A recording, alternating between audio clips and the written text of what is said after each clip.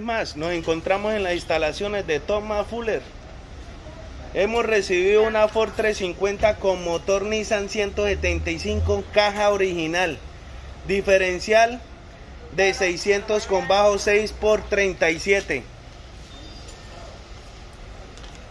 Esta caja Nissan 180 se cambia por decisión del propietario para mejorar su rendimiento. Para mejorar su rendimiento por solicitud del propietario se le instalará una caja FS 6406